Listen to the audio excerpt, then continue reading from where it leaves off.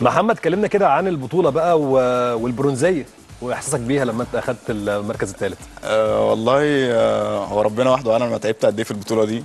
أه كنا بنلعب سنجل الصبح مجاميع وبعد كده بنلعب بنستنى مفيش ما ينفعش نروح لأن الباص من ال من الحتة اللي إحنا كنا بنلعب فيها للقاره الأولمبية كان ساعتين ساعتين رايح وساعتين جاي فطبعا بنقعد وبناكل هناك يعني كان شحططة على الآخر يعني.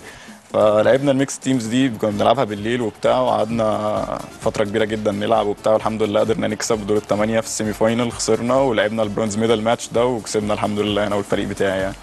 حلو جدا. ويعني لحظة عايز أقول لك إن هي كانت أحسن لحظة في حياتي كده كده لحد دلوقتي في في كل حاجة يعني. في الرياضة بالذات طبعا عشان دي حاجة كبيرة جدا الأولمبياد دي يعني مفيش مفيش أعلى من كده يعني. فدي كان كان حلمي من وأنا صغير وحلمي من أول لما اتأهلت إن أنا أجيب ميدالية في الأولمبياد والحمد لله ربنا كرمني يعني.